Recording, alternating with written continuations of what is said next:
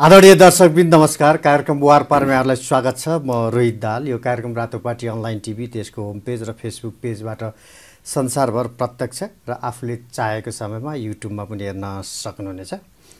आज पनि हामी समसामयिक राजनीतिका विषयमा केन्द्रित रहेर संवाद गर्नेछौँ र यसपटकको संवादमा नेकपा माओवादी केन्द्र मूल संवादको विषय केन्द्र रहनेछ र यसका लागि आज हामीसँग हुनुहुन्छ नेकपा माओवादी केन्द्रका एकजना प्रभावशाली नेता हुनुहुन्छ पूर्व सभामुख र नेकपा माओवादी केन्द्रका प्रवक्ता अग्निप्रसाद सापकोटा। स्वागत छ कार्यक्रम धन्यवाद।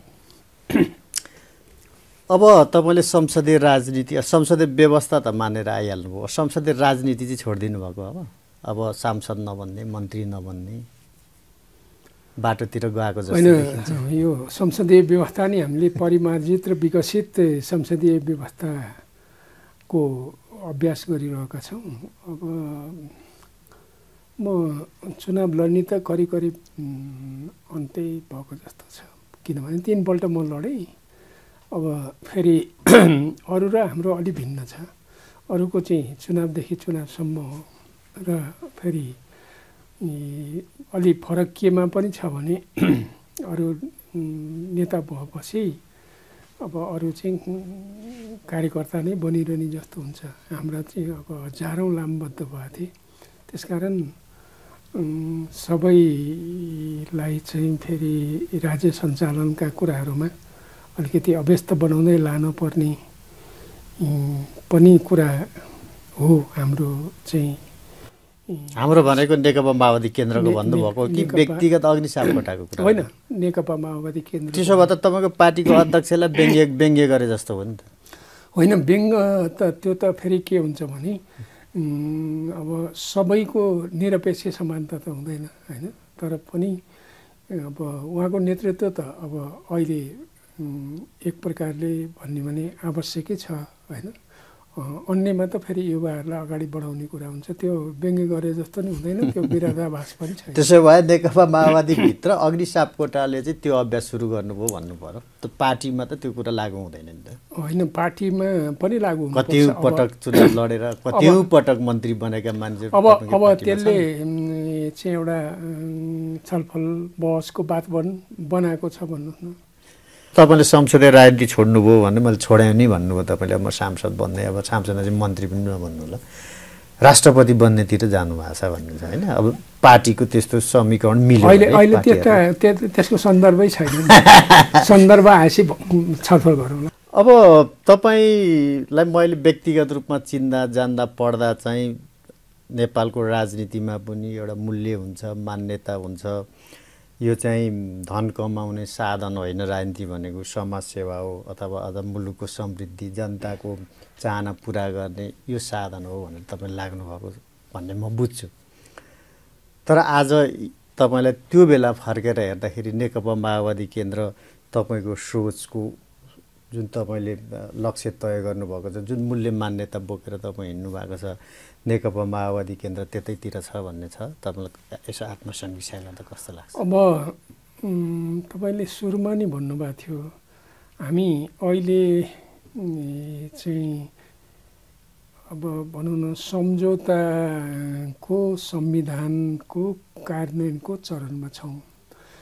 त्यसले गर्दा त्यसका चाहिँ नकारात्मक पक्षहरूले कति पनि हामीलाई प्रभावित पारेको छैन भन्ने कुरा होइन प्रभावित पारेकै छ।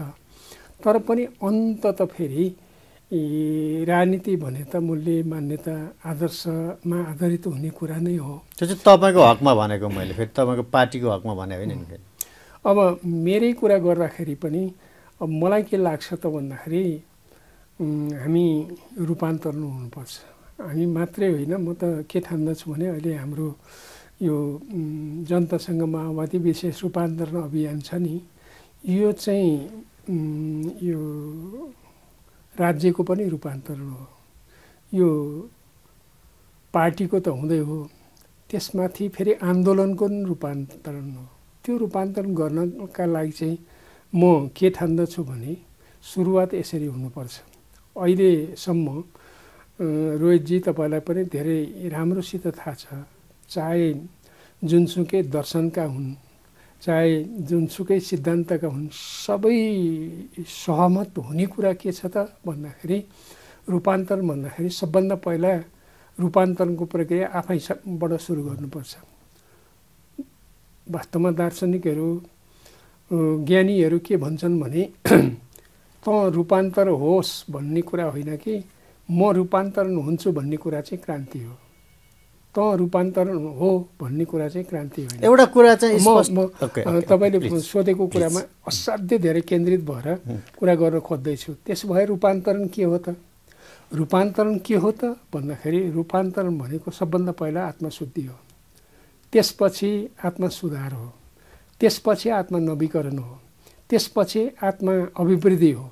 यति भइसकेपछि मात्रै हामी रूपान्तरण हुनुपर्छ भन्ने एउटा नैतिक धरातल खडा हुन्छ। त्यति बेर हामी रूपान्तरणको एउटा चाहिँ आधार खडा गर्छौँ र अगाडि बढ्छौँ। जनतासँग माओवादी रूपान्तरण अभियान भन्ने जुन माओवादीले उ गरेको छ त्यो भनेको जनतासँग माओवादी पार्टी अहिले टाढियो भन्ने त हो नि त होइन? त्यस कारण तपाईँले जनतासँग माओवादी भनेर त्यो लिएर जानुभयो।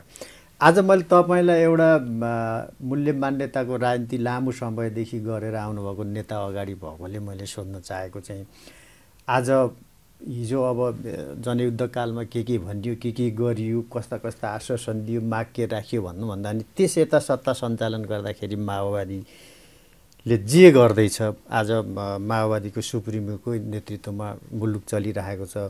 आज मूल्य वृद्धि हेर्नुभयो भने तपाईँ एउटा मसलाको मूल्य चाहिँ तपाईँ पैँतालिस दशमलव चार छ प्रतिशत भने झन्डै झन् छयालिस प्रतिशत चाहिँ मूल्य वृद्धि भएको छ। एकदम इनेगिनेका नेता नेताहरू त्यसमाथि तिनका छोराहरू चाहिँ ठुला ठुला भ्रष्टाचारका काण्डहरूमा मुछिएका छन्। तिनीहरूलाई जोगाउनलाई अहिले माओवादी त्यसको नेतृत्वको सरकारलाई चाहिँ हम्मे हम्मे परिरहेको छ। पार्टी सुध्रिन्छ भन्दा पनि सकिनेतिर गइरहेको छ। यी सारा सम्झिँदाखेरि तपाईँ जतिको नेतालाई चाहिँ धुरु धुरु रुँ जस्तो लाग्छ कि लाग्दैन? होइन एकदम इमान्दार साथमा भन्दाखेरि। इमान्दारितापूर्वक भन्दाखेरि वास्तवमा यी विकृति र विसङ्गतिको जुन तपाईँले कुरा गर्नुभएको छ नि तिनीहरू देख्दा निश्चित रूपमा अब अलिकति चिन्ता होइन? चिन्ता मात्रै त फेरि समस्याको समाधान होइन। चिन्तन तिर अलिक गम्भीर बन्नै पर्छ। तर फेरि कुरा के हो त भन्दाखेरि अहिले जुन हाम्रो पार्टीको अध्यक्षले सरकारको नेतृत्व गर्दै गर्दाखेरि अहिले जनताका हितमा सेवा प्रवाहमा पनि केही पहल कदमीहरू महत्त्वपूर्ण पहल पहल कदमीहरू भएका छन्। अब यसमा भन्नुहुन्छ त भने मलाई लाग्छ यो मिटर ब्याजको शोषणका विरुद्धमा बनेको कानुन त्यसले गौरीबहादुर कार्कीको नेतृत्वमा चाहिँ गरे आयोगले गरेका कामहरू अनि त्यस्तै गरी चाहिँ यो चाहिँ नक्कली भुटानी शरणार्थी भुटानी शरणार्थीको कुरा भयो ललिता निवासकै कुरा भयो यसमा चाहिँ सरकारले अलिकति दृढतापूर्वक अगाडि बढ्ने एउटा सङ्केत देखाएको छ पहल र प्रयत्न गरेको छ होइन? त्यसका साथसाथै मलाई के लाग्छ त भन्दाखेरि एउटा निकै शक्तिशाली सन्देश पनि दिएको छ सरकारले।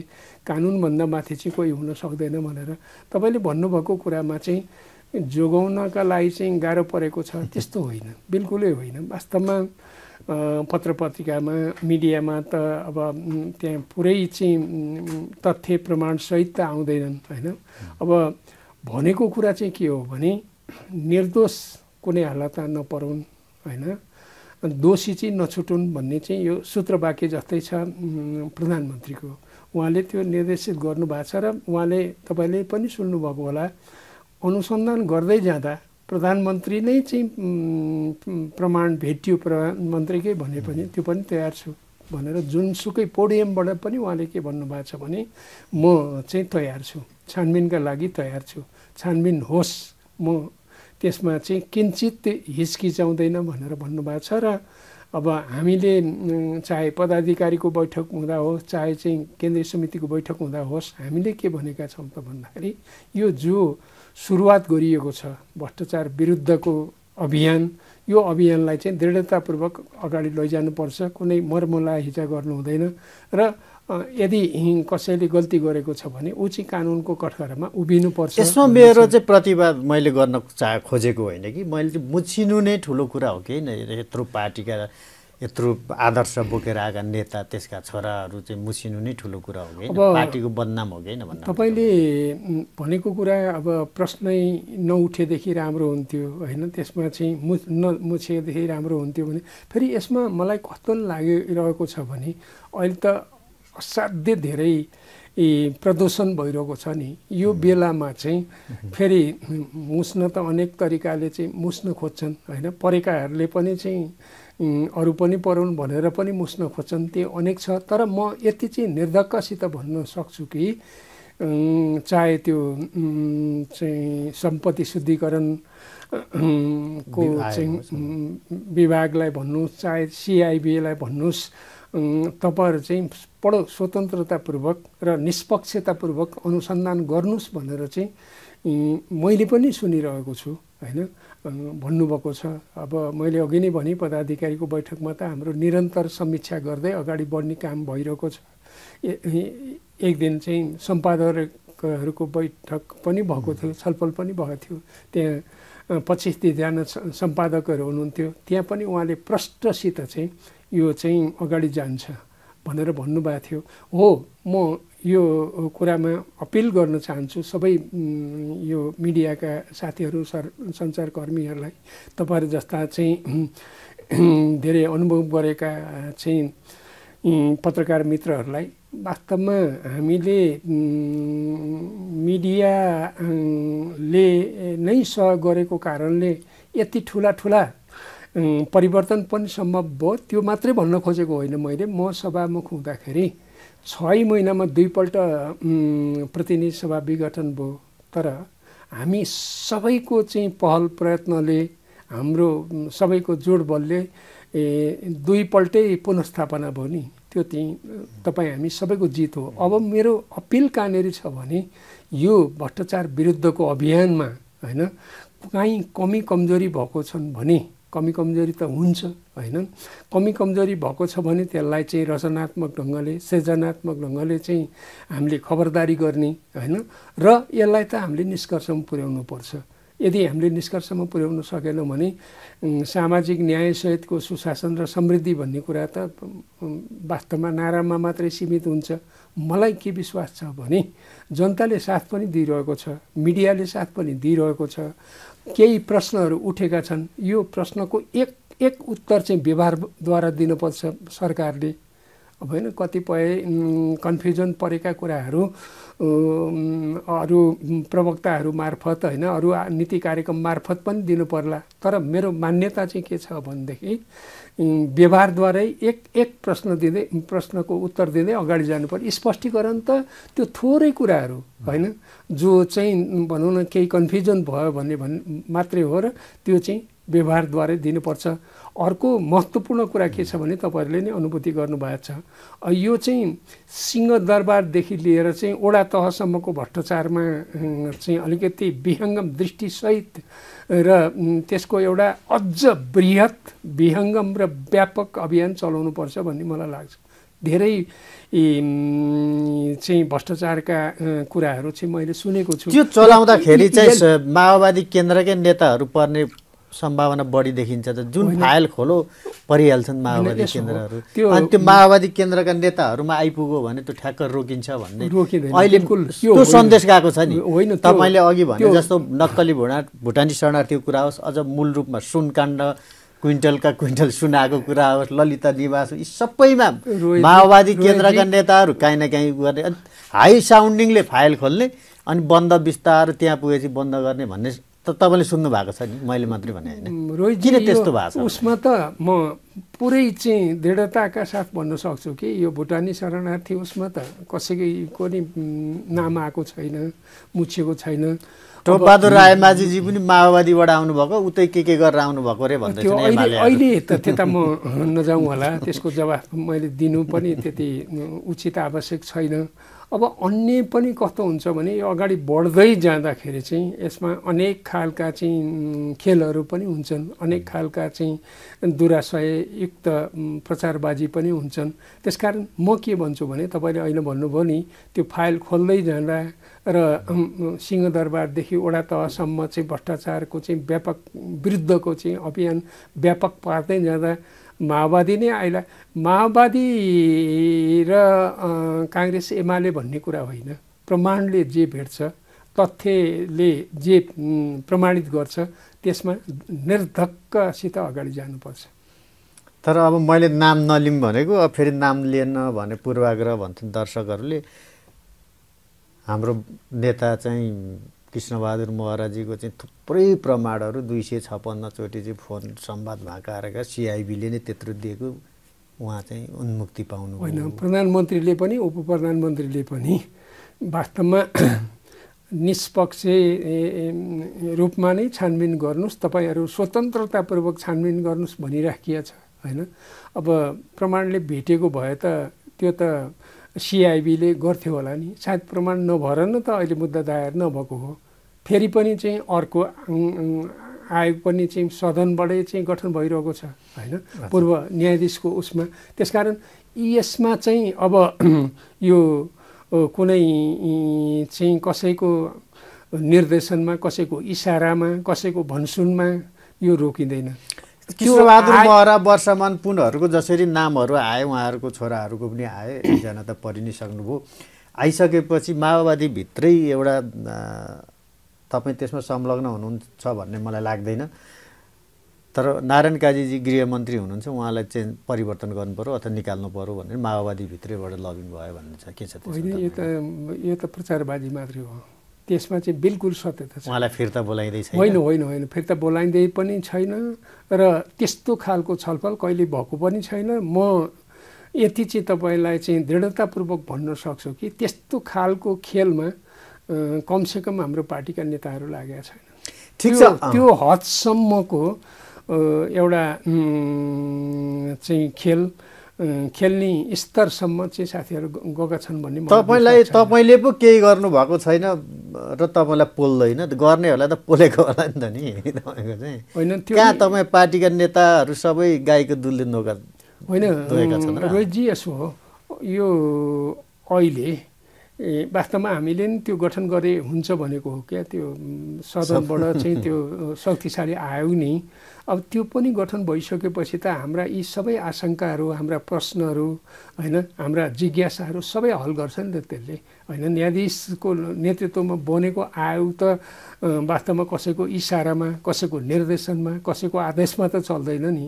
बरु हामीले उनीहरूलाई चाहिँ अझ राम्रो वातावरण बनाइदिनु पर्यो। होइन? जो गल्ती गरेका छन् नि जो चाहिँ जनताको रगत पसिनाबाट उठेको करको चाहिँ दुरुपयोग गरिरहेका छन् एक एक बाहिर आओस्। मैले आज तपाईँसँग एकदम हाडखोर राजनीतिक कुरा गर्नुभन्दा पनि त नेकपा माओवादी केन्द्रको अलिक सुधार अथवा त्यसले गर्दा मुलुकमा पनि प्रभाव पार्छ। मूल तपाईँले अघि भन्नुभयो अहिले माओवादीको रूपान्तरणको त एउटा कुरा छ सँगसँगै राज्यकै रूपान्तरणको कुरा जोडिन्छ भने जस्तै। मैले धेरै तपाईँसँग राजनीतिक उ गर्नुभन्दा पनि माओवादी केन्द्र चाहिँ मुलुकको लागि समस्या भयो। यो सकिनुपर्छ।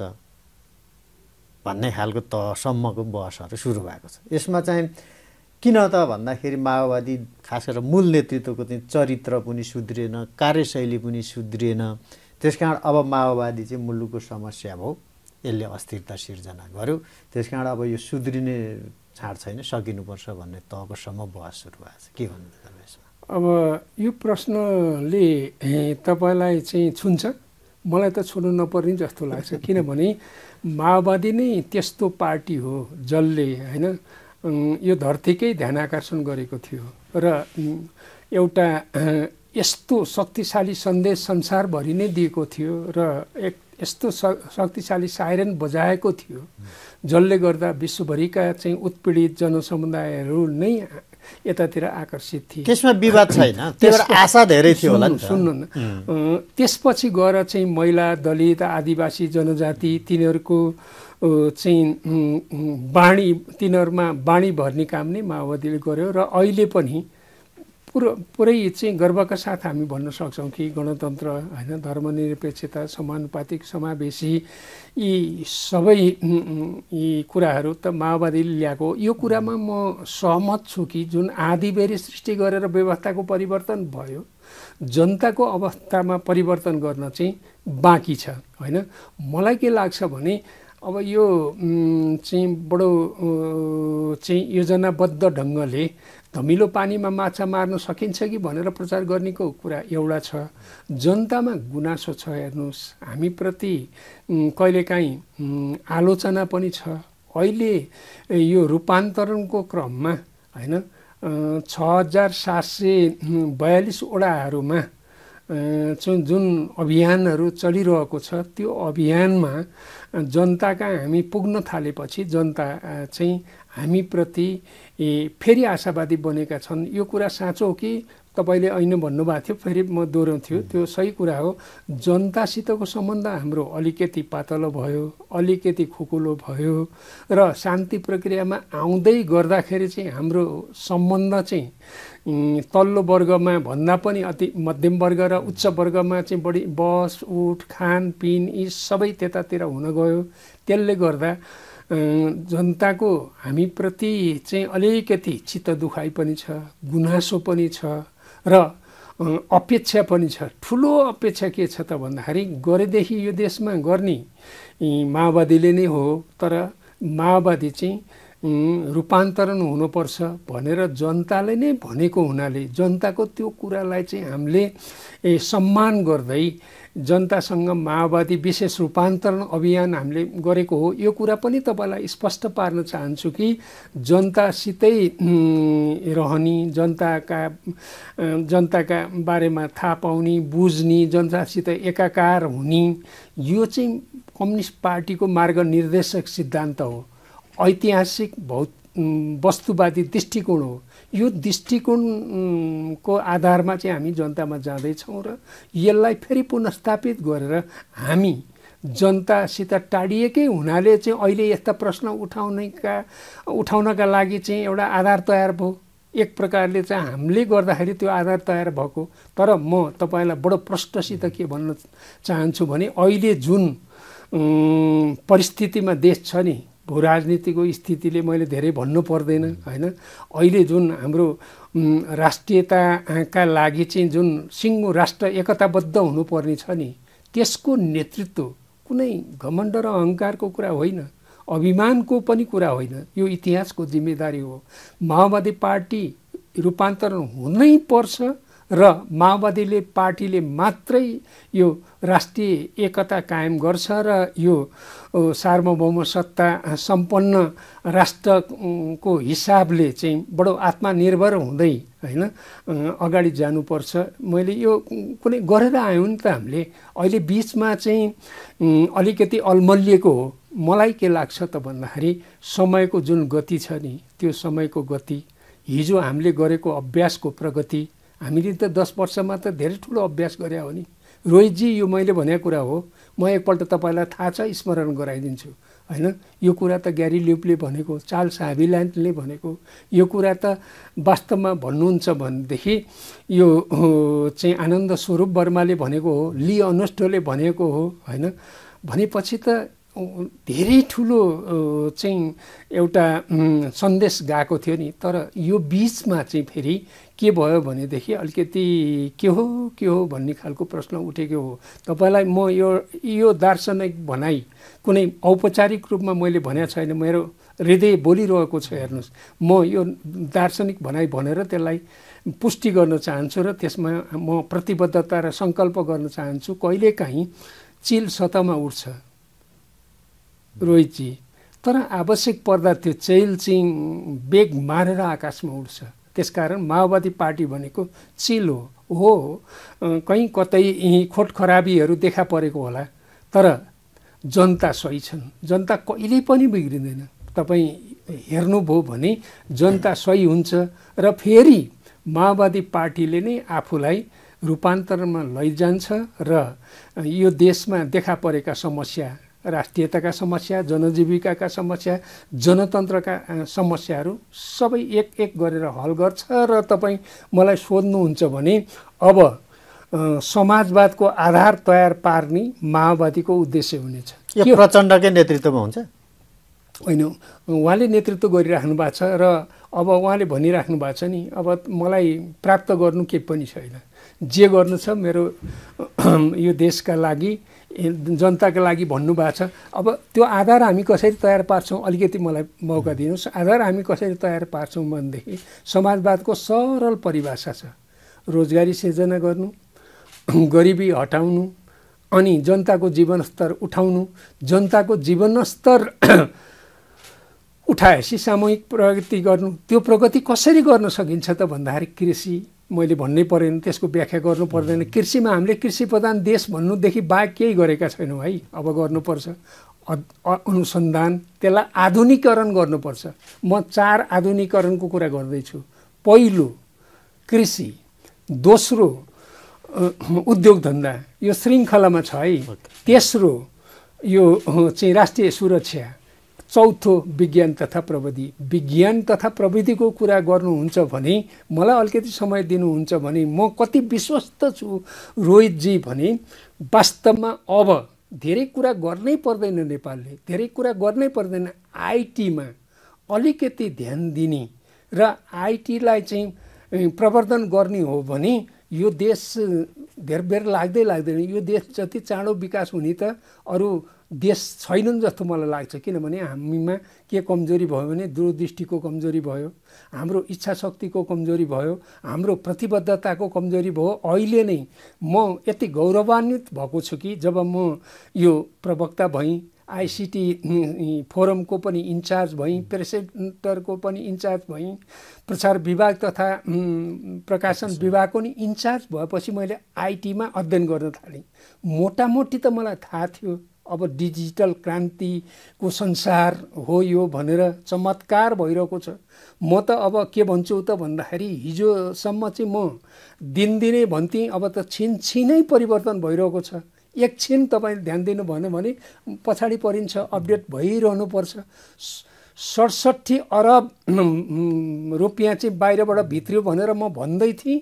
अहिले अझ चाहिँ ती जानकारीहरूसित कुराकानी गर्दा त एक खरब पुगिसकेको छ भनेपछि त्यो चाहिँ हाम्रो देशमा फेरि त्यसले बहुआमिक सन्देश गर्छ क्या।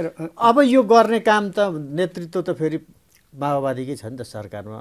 प्रचण्डबाट सम्भव छैन भन्ने मानिसहरूले किन भन्छन् भने यो चाहिँ एकदम तपाईँले भने जस्तो अब सैद्धान्तिक कुरा पनि भयो यो अलिक कार्यान्वयनमा जान समय पनि लाग्ला। तर सामान्य मानिसहरूले आज माओवादी जो त्यत्रो जनयुद्ध गरेर जनताकै साथमा जनयुद्ध गरेर यहाँ आएको पार्टीको नेतृत्वमा सरकार हुँदा ज दसैँको मुखमा आज जनताको त म तपाईँलाई एउटा डाटा भन्छु मैले अघि नै भने मसलामा पैँतालिस दशमलव लगभग छयालिस प्रतिशत मूल्य वृद्धि। चिनी सत्र दशमलव आठ छ भन्ने छ त्यो पाउँदै पाउँदैन त्यही पनि त्यति मूल्य वृद्धि छ। तरकारीमा झन्डै पन्ध्र प्रतिशत छ। दुध र अन्डामा झन्डै तेह्र प्रतिशत मूल्य वृद्धि अवस्था छ। भनेको दसैँ मान्न नसक्ने अवस्थामा जनता छन् जहाँ सरकार चाहिँ माओवादीको नेतृत्वमा छ। तपाईँको पार्टीको अध्यक्ष त प्रधानमन्त्रीको कार्यशैली हेर्ने हो भने केही केही परिवर्तन देख्न सकिँदैन। जस्तै उहाँले केन्द्रीय समितिमा प्रतिबद्धता जनाउनु भयो म त्यो ठेकदारको घरमा बस्दिनँ भन्नुभयो त्यहीँ बसिरहनु भएको छ। मैले छोरीलाई चाहिँ पिए राख्दिनँ भन्नुभयो उहाँलाई नै राखिरहनु भएको छ। आज उहाँको सान मान राजसी ठाटका साथ उहाँ विदाई भएर जानुहुन्छ विदेश। एउटा कार्यवाहक प्रधानमन्त्रीलाई आउनुहोस् मलाई विदाई गर्नुहोस्। म यो रातो कार्पेट मलाई चाहिँदैन भनेर सर्लक्क त्यति एउटा फुल लिएर उहाँ विदाई गर्न सक्नु के परिवर्तन उहाँले गर्न सक्नुहुन्छ त यो देशमा? कसरी आश गर्ने? कार्यशैली नै उहाँको परिवर्तन छैन भने। जस्तो भनौँ न यति कुरा त तपाईँ यति नजिक हुनुहुन्छ प्रधानमन्त्रीको। यति त सल्लाह दिनुहुन्छ नि तपाईँ आफू चाहिँ सादा जीवन बिताउनुहुन्छ। अनि आफ्नै अध्यक्षलाई चाहिँ त्यो राजसी ठाटमा हिँड्न लगाउनुहुन्छ। सुन्नु न एक लिटरमा एघार रुपियाँ एकैचोटि घटेको पनि तपाईँले सुन्नु भएको छ नि। यो त स्वीकार्दैन होइन चाहिँ। एउटा कुरा के छ त भन्दाखेरि सकारात्मक त राज्यको दायित्व गरि अब गर्ने नै यो हो कस्तो नि बनेछ रोहितजी भने तपाईँको कुरा होइन तपाईँले नि अरूले भनेका कुरा सुन्नुभयो होइन। के देखियो त भन्दा पोजिटिभतिर चाहिँ अलिकति ध्यान कम होइन नेगेटिभतिरबाट गएको जस्तो देखेँ मैले। यी सामान्य प्राविधिक कुरा भन्दा पनि जो चाहिँ सेवा प्रवाहमा छ नि त अथवा घन्टौँ घन्टा लाइन बस्नु पर्थ्यो होइन त्यो चाहिँ अहिले लाइनै नबसिकन राहदानी भए। अहिले भर्खरै चाहिँ चाहिँ उसले प्रवासी नेपालीहरूले पनि चाहिँ ऊ चाहिँ नागरिकता प्राप्त गरेका छन् होइन। अघि नै भनिहालियो यो चाहिँ उसमा त मिटर ब्याजीको शोषणका विरुद्ध त एउटा सामाजिक क्रान्ति नै भएको छ होइन। एक एक गरी गर्दैछ। यति धेरै बिग्रिएको परिस्थितिमा कामको सुरुवात त हुँदैछ। अहिले तपाईँ बालाटारमा जानुभयो भने के परिवर्तन भयो भन्दा एउटा चाहिँ म तपाईँलाई भनौँ। तपाईँले चाहिँ गठबन्धनको बैठकका कुरा नि हेर्नुभयो होला हामी पदाधिकारीकै कहिलेकाहीँ त्यहाँ यसो छलफल चल्दाखेरि र त्यहाँ सरकारी उनी कुनै ऊ हुँदाखेरि त्यहाँ चाहिँ पानी हालेको मोही र मकैको खाजा खाइन्छ।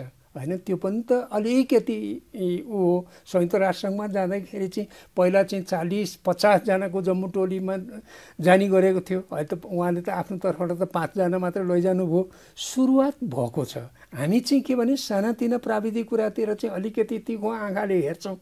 परिवर्तनका दिशातिर चाहिँ गइरहेको कुरालाई चाहिँ हाम्रो अलिकति ध्यान उहाँले। हिजो विरोध गरेका कुरा आफै गर्नुभयो भन्दैपछि अलि मान्छेको आँखा होइन? यसो हो एउटा प्रहरीले चोर समातो भने खासै न्युज हुनु नि उसको कामै कहिले- हो कहिलेकाहीँ तर चाहिँ छोडिदियो भने न्युज प्राविधिक? कुराहरूमा हामी अलिकति व्यवहारिक अलिकति विवेकी नै हुनुपर्छ जहाँसम्म अब हाम्रो पार्टीको सल्लाहकार एवं उहाँको जीवन सङ्गिनीको निधन भयो हामी सबैलाई थाहा छ होइन अब सँगै चाहिँ छोरी लानुपर्ने बाध्यता त किनभने दैनिक जीवनका चाहिँ कुराहरूमा त सहयोग गर्नका लागि त उहाँ त अनिवार्य हुनुभयो नि त। त्यो त आवश्यकता हो।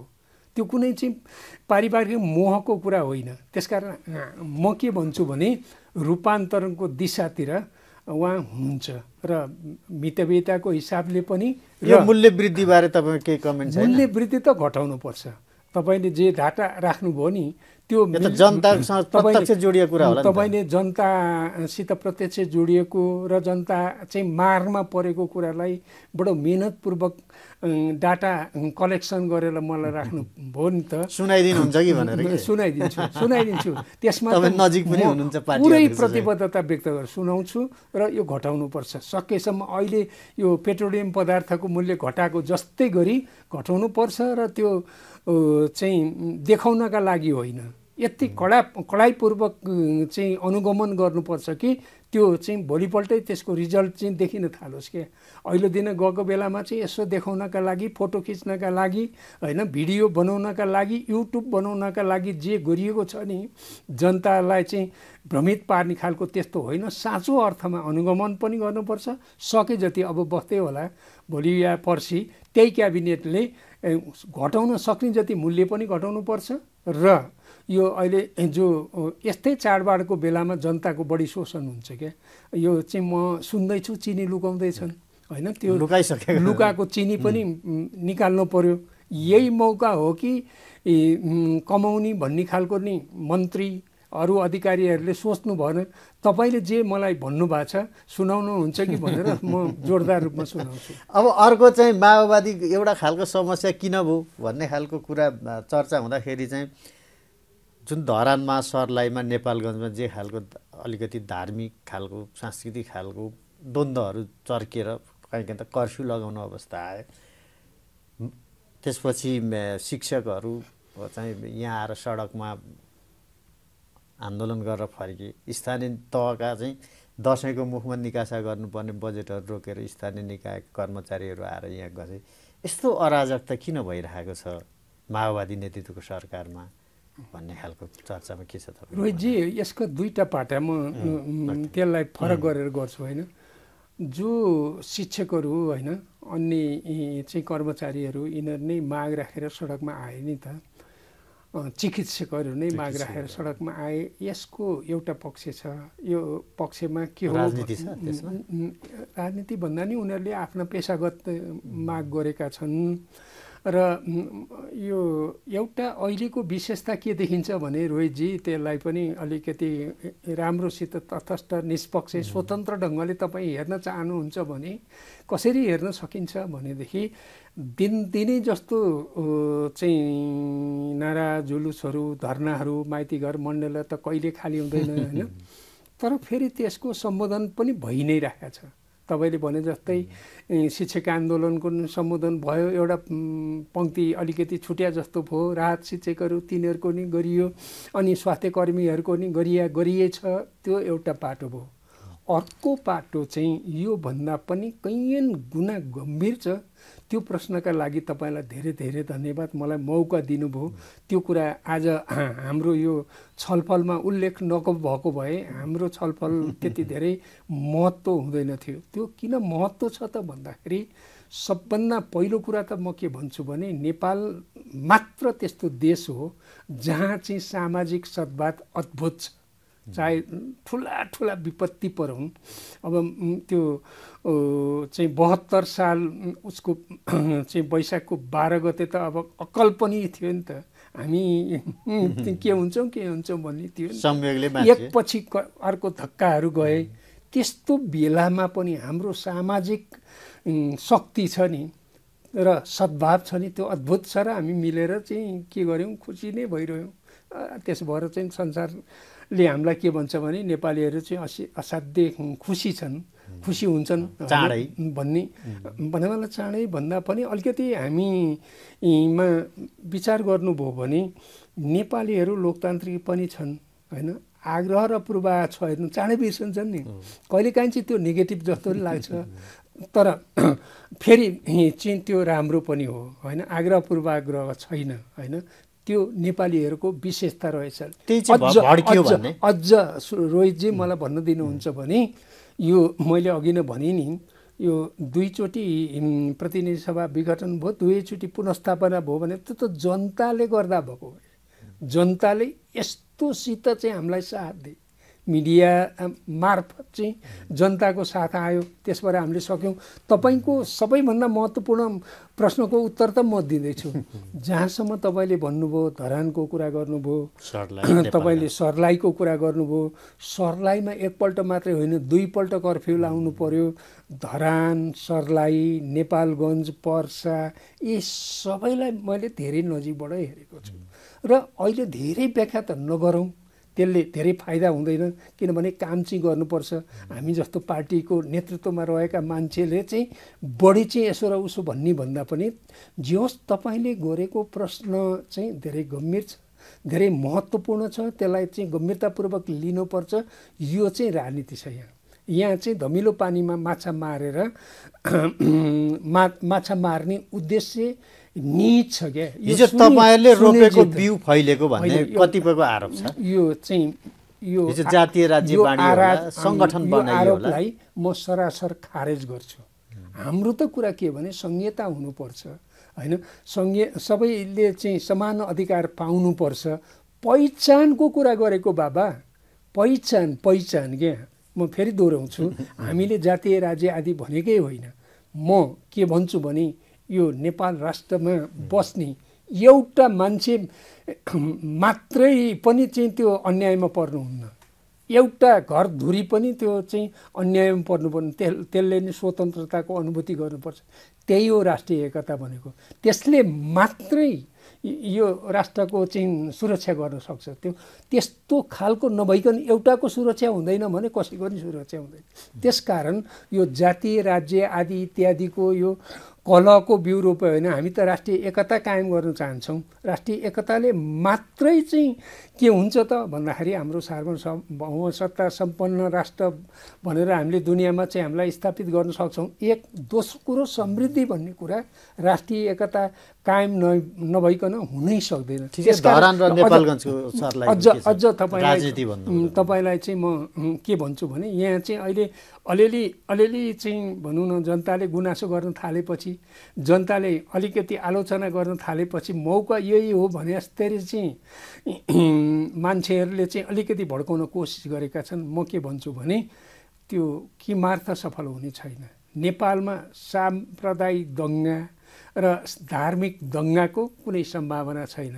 खुल्लम खुला होइन राजनीतिक एजेन्डा ल्याएर ती भनौँ न पुराना शक्तिहरू जसले चाहिँ अहिले केही मौका मिल्छ कि भनेर भनेका छन् नि तिनीहरूको पालामा के भएको थियो त? जनताले अझै बिर्सिन्छ कसले गर्यो भन्ने छ तपाईँहरूको विश्लेषण यो चाहिँ प्रत्यक्ष रूपमा मैले धेरै नाम त नलिउँ होइन? जो चाहिँ जनताले मन नपराएर जसलाई चाहिँ विस्थापित गरेका थिए नि तिनीहरू ती हिजो विस्थापित भएकाहरू आज चाहिँ केही चाहिँ ढोक्सामा चाहिँ माछा परिहाल्छ कि भने जस्तै लागेका छन्।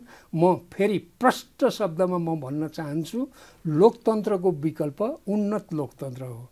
परिवर्तन का विरुद्धमा जनता छैनन्। हामी पट्टि गुनासो छ। त्यही जोड्न लागेको थियो। तपाईँहरूले चाहिँ त्यो राजतन्त्रको कुरा गर्नुभयो राजतन्त्र फर्किने। अब राजतन्त्र आउने होइन आउने आउने चाहिँ पुनर्स्थापित हुने निश्चित भइसक्यो। त्यो त्यसको राजमार्ग चाहिँ तपाईँहरूले बनाइदिनु भयो भन्ने छ कि? त्यो तपाईँहरूप्रतिको असन्तुष्टि रोहितजी म त्यो राजमार्गै बनाइदिनु भयो निश्चित भइसक्यो भन्ने शब्द चाहिँ खारेज गर्न चाहन्छु। किनभने एक कुर्सी मार भन्छ नि त्यो त्यो त्यो तथ्यमा आधारित छैन। बिल्कुल छैन। भोलि साबित हुन्छ नि। कसले बोल्या भन्दाखेरि त नेकपा माओवादी केन्द्रको उपाध्यक्ष होइन। प्रवक्ताले बोलेको हिजोको पूर्व सभामुखले पनि बोलेको होइन। बडा राम्रोसित नोट गरेर राख्नुहोस् क्या। त्यो सम्भव म फेरि पनि दोहोऱ्याएर भन्छु कि लोकतन्त्रको विकल्प उन्नत लोकतन्त्र। फेरि हामीका प्रति जनताको गुनासो छ होइन। आलोचना पनि छ। कहिलेकाहीँ चाहिँ अलिक अलिकति चाहिँ झोकझोक पनि चलेको छ। तर जनता पछाडि फर्कन चाहँदैनन् किमार्थ पछाडि फर्कन चाहँदैनन् र म के भन्छु भने इतिहासको चक्का धेरै राम्रोसित अगाडि बढिसकेको छ। बरु यहाँ अलिकति कमजोरी कहाँ भएको छ त भन्दाखेरि अहिले फेरि एकातिर पुनस्थानवादीहरू छन् होइन? अर्कातिर चाहिँ फेरि यो चाहिँ प्रियतावादीहरू छन्। प्रियतावाद प्रियतावाद अब अलिकति एप्रोप्रिएट शब्द ओड चाहिँ प्रियतावाद तपाईँले भनेर उ त साह्रै एउटै हो तर पपुलारिजम हो अङ्ग्रेजीमा ट्याक्कै मिल्छ होइन। त्यो चाहिँ के छ भने गर्ने र पुग्ने त काहीँ पनि होइन। यस सन्दर्भमा मलाई अलिकति समय दिनुहोस्। म स्पष्ट पार्न चाहन्छु। अहिले यस्तो न्यारेटिभ खडा गर्न खोजिएको छ कि? फेरि संसारैभरि चाहिँ अब सबै शक्ति केन्द्रहरू पनि चाहिँ कि त द्वन्द्व मचाउन लागेका छन् कि त व्यापारमा केन्द्रित भएको छ क्या?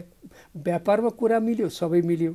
व्यापारमा मिलेन मिलेन। तर यो पनि छ कि संसारका यो धरतीका चाहिँ महानतम दार्शनिकहरू वैज्ञानिकहरू उनीहरू विश्व दृष्टिकोणको लागि दर्शनमा होइन त्यसै गरी विज्ञानमा सिद्धान्तमा राजनीतिमा उनीहरू त अहोरात्र खटिरहेका छन् होइन?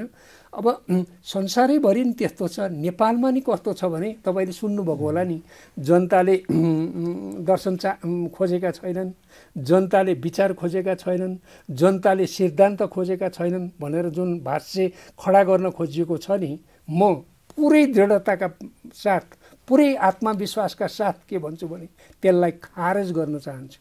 विचार बिना यो दुनियाँ धेरै दिन टिक्न सक्दैन। म तपाईँलाई के भन्छु भने विज्ञान आज किन जिउँदो छ रोहितजी? विज्ञान किन बाँचेको छ? विज्ञान किन विचार सिद्धान्त छ विज्ञान किन बाँचेको छ भने आविष्कार भएको हुनाले बाँचेको छ। यदि आविष्कार नहुँदो हो भने विज्ञान विज्ञान भन्नुको अर्थ हुँदैन। ठिक त्यस्तै गरी यो विचारको विकासमा अहिले अल्मलिएको छ क्या। हाम्रै सन्दर्भमा भन्नुहुन्छ भने रो रोहितजी म बडो प्रष्टसित भन्छु हामीले विचारको विकास गर्दा दुनियाँ थर्कायौँ दुनियाँकै ध्यान आकर्षण गऱ्यौँ। अहिले हाम्रो विचारमा जति ध्यान केन्द्रित हुनु पर्थ्यो विचारमा जति हामीले मेहनत गर्नु पर्थ्यो जति अध्ययन अनुसन्धान गर्नु पर्थ्यो त्यो हामीले गर्न सकेन। तिनवटा शब्दमा म भनौँ संश्लेषण गरौँ। हामीले इन्भेसन पनि त्यति गरिराखेका छैनौँ होइन? इनोभेसन पनि गरिराखेका छैनौँ होइन? हामीले चाहिँ रिसर्च पनि गरिरहेको त्यस कारण आउटडेटेड इन्भेन्सन भन्दा आविष्कार होइन? इनोभेसन भने खोज अनुसन्धान होइन? रिसर्च पनि खोज अब अब अहिले प्रधानमन्त्रीले चाहिँ एकदमै बेलगाम चाहिँ प सार्वजनिक रूपमा बोलिरहनु भएको छ। अब पूर्वमा जानुभयो कोशी प्रदेशमा गएर भनिदिनु भयो हामीलाई बहुमध्य तिमीहरूलाई चाहिँ जातीय राज्य दिन्छौँ भन्नुभयो। अनि कहिले आफै सरकारमा हुनुहुन्छ लाखौँ जनता सडकमा उतारिदिन्छ भनेर चेतावनी दिनुहुन्छ कसलाई दिनुभएको? विपक्षी प्रमुख प्रतिपक्षी एमालेसँग प्रति त उहाँले हिजो अस्ति नै पनि आगै ओकल्नुभयो जो आफै समेटेर प्रति प्रमुख प्रतिपक्षीसँग लानुपर्ने हुँदाहुँदा यहाँसम्म पुर्याउनु भयो कि कङ्ग्रेसलाई चाहिँ विद्रोह गराउने बाटोमासम्म उहाँले लानुभयो भन्ने आरोप छ। किन यसो होइन कुरा यस्तो अलिकति बोलेको कुरालाई थोरै ट्विस्ट गर्दा नि अर्थको अनर्थ हुँदो रहेछ हेर्नुहोस् है। वास्तवमा भन्ने भनेदेखि त्यो यो बेला पनि असाध्य चाहिँ फेरि कहाँनिर चाहिँ शब्द समाउनु सकिन्छ भने जस्तो नि हुँदो रहेछ उहाँको मनसाय चाहिँ त्यस्तो भड्काउने होइन। त्यस्तो गर्ने होइन। तर अन्तिम सार कुरा चाहिँ के हो भने जनताको हितमा म सम्पूर्ण रूपले समर्पित हुन्छु। जनताका लागि समर्पित हुनुदेखि बाहेक यो देशको र जनताको सम् हितमा काम गर्नुदेखि बाहेक अब मेरो केही पनि अर्को उद्देश्य छैन भन्ने क्रममा चाहिँ आवश्यक पऱ्यो भने जनतामा जान मेरो बाटो खुल्ला छ भनेको हो। त्यो उहाँले त काम खुरुखुरु गरे हुन्छ नि त काम गर्ने ठाउँमा हुन्छ किन बोल्नु भन्ने होला नि त मानिसहरूको भनाइ।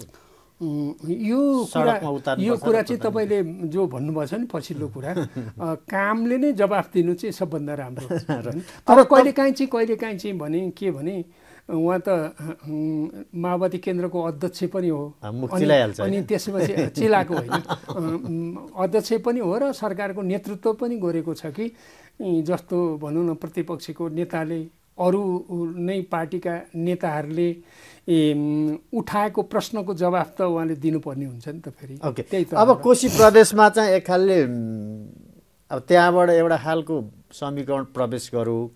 सानो सलाइको काँटीले त्यहाँ सुकेको खरमा आगो लाग्यो। त्यो आगो चाहिँ फैलिँदै अब सिंहदरबार पनि आउँछ सङ्घीय सरकारमा पनि आउँछ। भन्ने कुरा त एमालेका नेताहरूले हिजो अस्ति मात्रै अब यो दसैँपछि दुई महिनाभित्रै यो सरकार जान्छ भन्ने छ के भनेर सार्वजनिक रूपमा भनिसकेका छन्।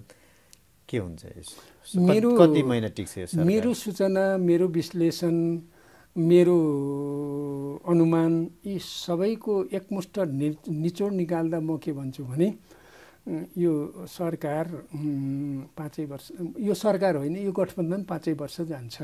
यही यही गठबन्धन जान्छ। र यो सरकारको सम्बन्धमा जे गठबन्धनभित्र जेन्टलम्यान एग्रिमेन्ट भएको छ त्यही अनुसार नै यो अगाडि जान्छ। नम्बर एक कुरा। नम्बर दुई कुरा कोसीको कुरा गर्नुभयो नि तपाईँले। कोसीको कुरा गर्दाखेरि अब अलिकति अपरिपक्वता अलिकति चाहिँ केन्द्रको मुख ताक्ने जुन सङ्घको अलिकति पनि चाहिँ विवेकपूर्ण ढङ्गले अलिकति दृढतापूर्वक अभ्यास गर्नु पनि त्यो नभएको कुरा त छ्याङछ्याङती देखिहाल्यो। त्यसलाई ढाक्न खोज्यो भने त्यो चाहिँ अब तथ्य विपरीत हुन्छ होइन? त्यहाँ चाहिँ मलाई लाग्छ संवैधानिक नैतिकता भन्ने हुन्छ नि। अब जनसाधारणको चाहिँ नाङ्गो आँखाले हेर्दा पनि मिल्या छैन होइन? सं संवैधानिक नैतिकता भन्ने त अब त्यहाँ कुरै छैन यसमा त तपाईँप्रति औँलो ठडाएको छ नि त एमाले त। हिजो एमाले हामीले कारवाही गरेका माधव नेपालजी पार्टीहरूको जुन सांसदहरू थिए त्यो भलै त्यो धेरै पुरानो धेरै बस भएको त्यो जोडिएको हुनाले तपाईँतिर प्रश्न उठेको छ नि ठ्याक्कै शेखर कोइरालाले जे गरे अथवा हिजो अग्नि सापकोटाले हामीलाई जे गर्नुभयो शेखर कोइरालाले त्यही गरे भन्ने एमालेको कुरा सरासर यसलाई म खारेज गर्छु। सरासर म किन सिकाएको तपाईँले सरासर म खारेज कसरी गर्छु त बडो दृढतापूर्वक पूर्वक मलाई मैले जे गरेँ सभामुख हुँदाखेरि नि अब कुनै दिन मौका मिल्यो भने भनौँला एक एक गरेर मलाई सभामुखको कार्यकालप्रति गौरव छ होइन? मैले जे गरेँ त्यो संविधान अनुसार गरेको छु नियमअनुसार गरेको छु ऐन अनुसार गरेको छु अझ मुख्यत प्रतिनिधि सभाको नियमावली अनुसार गरेको छु। मात्रै होइन। मैले अघि नै भने नि संवैधानिक नैतिकता पनि मैले पालन गरेको छु र त्यसमा चौधजनाको कुरा तपाईँले भन्नु खोज्नुभएको होला। ऐनले मलाई पन्ध्र दिनको समय दिएको थियो। त्यो किन दिया होला? रोहितजी एकछिन विचार गरौँ न। किन दिया होला? कहिलेकाहीँ असाध्य धेरै चाहिँ विचार विमर्श परामर्श चिन्तन मनन गर्नुपर्ने परिस्थिति आउँछ। त्यो न्यूनतम पन्ध्र दिन दिनुपर्छ भनेर धेरै सुविचारी ढङ्गले त्यो ऐनमा चाहिँ तपाईँले संविधान त कानुन त संसदको नियावली अनुसार त ठिकै गर्नुभयो सुन्नु न नियत चाहिँ ठिक भएन भन्ने तेह्र दिनमा गर्नुभयो? सूचना पन्ध्र पन्ध्र दुई दिन अगाडि नै गर्नुभयो चाँडै। मैले गरेँ। तर नियत वास्तवमा भन्यो भनेदेखि नियतकै कुरा गर्नुहुन्छ भने नि मैले स्वतन्त्र निष्पक्ष तटस्थ रूपमा गरेको छु। मलाई आरोप त लाए। त्यो आरोप कसरी लाग्दो रहेछ रोहितजी? यो बडो इन्ट्रेस्टिङ छ क्या। आरोप कसरी लाग्दो रहेछ भनेदेखि उनीहरूको हितमा भयो भने तिनले प्रशंसा गर्ने रहेछन् मैले यो अदालतमा उत्तर दिने क्रममा दोस्रोचोटि प्रतिनिधि सभा विघटन भएर चाहिँ मैले उत्तर दिने क्रममा चाहिँ मैले एउटा जवाफ दिएको थिएँ क्या। त्यो जवाफ दिँदाखेरि एउटा वाक्य होइन? छलफल गर्दै जाँदा मलाई त्यो आयो क्या। यो त छलफल गर्दै हामी कसैले नजानेको कुरा आउँछ होइन? भनेपछि त्यो के आयो त भन्नुहुन्छ भने एजेन्डा मेरो हो। कसैसित मिल्न गयो भने त्यो संयोग हो। मैले जे गरेँ म आफैले निर्णय गरेँ। मेरै निर्णयमा त्यो भएको हो। त्यसकारण त्यसमा चाहिँ अब आरोप शेखर कोइरालाहरूले चाहिँ संवैधानिक नैतिकता गुमाए भन्ने तपाईँको भयो होइन वास्तवमा म त्यसरी व्यक्ति विशेषलाई आरोप लाउन चाहन्न। तर तर म के चाहिँ निर्धक्कसित भन्न चाहन्छु कि त्यहाँ चाहिँ दुवै पक्षले संविधानको मर्म भावना अनुसार काम गर्न सकेन। गठबन्धनले पनि? परिपक्वता देखियो गठबन्धनले पनि अब अर्को पक्षको त झन् भएन नि त त्यो त संस्थागत हुनुपर्छ नि। त्यो त्यसले सङ्घको सरकारलाई असर कस्तो हुन्छ कहिले काहीँ भने विद्रोह भनेको चाहिँ रोहितजी कस्तो हुन्छ भने क्रान्ति भनेको चाहिँ बडो विचारमा आधारित होइन योजना होइन सुविचारित ढङ्गले चाहिँ बडो व्यवस्थित ढङ्गले चाहिँ गरिन्छ क्रान्ति। त्यो त धेरै चाहिँ महान कुरा भयो। कहिलेकाहीँ विद्रोह चाहिँ के हुन्छ भने तत्क्षण उत्तेजनामा आएर आवेगमा आएर होइन कहिलेकाहीँ चाहिँ देखाइदिनका लागि गरिन्छ त्यस्तै चाहिँ देखियो। म एउटा प्रश्न चाहिँ पूर्व सभामुख भएको हिसाबले गरेर म यो यो सक्छु यो च्याप्टर चाहिँ। अब अहिले संसदको जुन काम हेरिरहनु भएको छ सभामुखको जुन भूमिका हेरिरहनु भएको छ संसदले त्यत्रो अवधिमा जतिवटा विधेयकहरू अथवा कानुनहरू बनाए बनाउँदै बनाएन भनौँ न। भन्ने छ। के छ तपाईँको मूल्याङ्कन? चाहिँ तपाईँ आफू सभामुख भएको हुनाले होइन अहिले मलाई के लागिरहेको छ पहिलो कुरा त यो समस्या जति देखिराखेका छ नि यो समस्या देखाउनुको मूल कारण चाहिँ पार्टीहरूको आन्तरिक लोकतन्त्र नै असाध्य कमजोर छ। र पार्टीहरू पार्टीका नेताहरू लोकतन्त्रको मूल्य मान्यता आदर्शप्रति प्रतिबद्ध छैनन् इमान्दार छैनन्। त्यसलाई चाहिँ भनौँ न व्यवहारमा लैजानका लागि चाहिँ इमान्दार नभएपछि त निष्ठावान नभएपछि त त्यो सुरुवातै भएन। एक दोस्रो कुरा पार्लियामेन्ट भनेको धेरै ठुलो र महत्त्वपूर्ण विषय निकाल्नुभयो मेरो त त्यो विषय पनि भयो अब होइन? के भने त्योभन्दा ठुलो संस्था कुनै पनि राष्ट्रमा संसदभन्दा ठुलो र ओज र गरिमाले युक्त आस्थाको धरहर अरू हुनै सक्छ त्यति सार्वभौम अरू सार्वभौम त्यो हुन्छ। त्यहाँ त्यो नै कमजोर भयो भने सबैतिर कमजोर हुन्छ किनभने राष्ट्रपति उपराष्ट्रपति प्रधानमन्त्री प्रधान न्यायाधीश पनि हाम्रो देशको सन्दर्भमा राष्ट्रिय सभा अध्यक्ष सभामुख यी सबै तीबाट उत्पत्ति हुन्छ। र त्यसो भएको हुनाले रोहितजी धेरै महत्त्वपूर्ण विषय उठाउनु भएको हुनाले मलाई चाहिँ अलिकति समय दिनु होला त्यो तपाईँ अहिले चाहिँ त्यो प्रतिनिधि सभा नियमावली अथवा सङ्घीय संसदका नियमावली पल्टाएर हेर्नुभयो भने अझ मुख्य त भनौँ न प्रतिनिधि सभाको सभामुख हेर्नुभयो भने त्यो यत्रो नियमावली छ। त्यो पहिला मैले सभामुख हुने बित्तिकै सर पढ्दाखेरि मलाई के लाग्यो भने बा अल टु अल सभामुख क्या सर्वाधिकार होइन विशेषाधिकार सम्पन्न होइन। तर त्यो भन्नुको अर्थ म क्षणमै केमा पुगेँ त भन्दाखेरि त्यो जति असीमित अधिकार छ नि त्यति सीमित प्रयोग गर्नुपर्छ त्यसलाई। ठिक त्यस्तै गरी सभामुख मात्रै होइन एउटा प्रतिनिधि सभा वा यता राष्ट्रिय सभाको सदस्य पनि सार्वभौम सत्ता सम्पन्न हो क्या? सार्वभौम सत्ता सम्पन्न भन्नुको अर्थ के हो र विशेषाधिकार भने त झन् के हो भने त्यहाँ बोलेको कुरा। नेपालमा मात्रै होइन दुनियाँको कुनै अदालतमा मुद्दा लाग्दैन। विशेषाधिकार छ। तर त्यसको उच्च सम्मान पनि भएको छैन।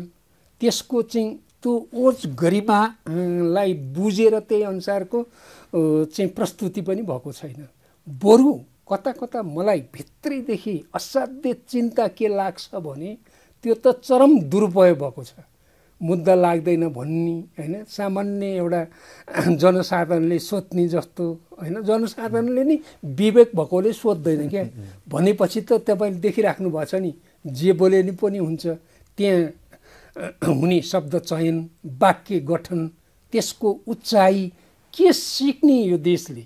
भनौँ त्यहाँबाट सिक्नुपर्छ। अहिलेको सभामुखको भूमिका कसरी बोल्नुपर्छ?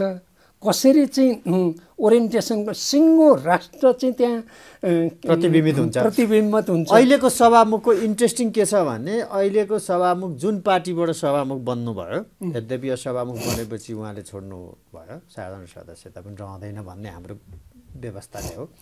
तर आत्मामा त रहिरहला नि त त्यो। अनि जुन पार्टीबाट उहाँ सभामुख बन्नुभयो त्यही पार्टीले सबैभन्दा बढी संसद अवरुद्ध गरेको अवस्था छ। यस्तो अब तपाईँले चाहिँ अर्को पार्टीबाट संसद अवरोध गरेको भोग्नुभयो। आफ्नै पार्टीले चाहिँ त्यो गरेन तपाईँ। जुन पार्टीबाट तपाईँ जानुभयो। तर अहिले चाहलादा चाहिँ के छ भने जुन पार्टीबाट सभामुख बन्नुभयो त्यही पार्टीले बढी संसद अवरुद्ध गरेको अवस्था छ। यहाँनिर चाहिँ सभामुखको अहिलेको देवराज घिमिरेजीको केही महत्त्वपूर्ण भूमिका हुन्छ कि हुँदैन? त्यो केही गर्न सक्नुहुन्छ कि सक्नुहुन्न? कि उहाँले भन्नुहुन्छ म त रेफ्री मात्रै हो भन्नुहुन्छ। रेफ्री भनेको सिट्ठी बजाउने मात्रै हुन्छ कि त्यो नियमले खेल खेल्ने खेल्न नियमले नखेल्नेलाई बाहिर निकाल्न नि सक्ने त्यो पनि तागत हुन्छ सभामुखसँग। सभामुखले भूमिका खेल्न नसक्ने त कुरा हुन सक्दैन होइन? तर फेरि यो मुख्य दायित्व त पार्टीहरूकै हो। र पार्टीहरूलाई भनौँ न त्यो चाहिँ संसद सुचारू राख्नका लागि प्रभावकारी ढङ्गले चलाउनका लागि जीवन्त र जनमुखी बनाउनका लागि यी पार्टीहरूको बैठक बोलाउने होइन निरन्तर निरन्तर छलफल गर्ने होइन पार्टीहरू तयार भएनन् भने तपाईँ हामी छौँ नि त। मैले तपाईँसँग एकदम छोटो तपाईँ हामीले नि छोटो समयमा छोटो जान्न चाहेको चाहिँ कार्यपालिका र व्यवस्थापिकाका प्रमुखहरू बिच नै समन्वय देखिँदैन अहिले भन्ने छ कि? तपाईँ कस्तो देखिरहनु भएको छ? समन्वय गर्नुपर्छ भन्ने मलाई लाग्छ। सभामुखको भूमिका बारे के छ?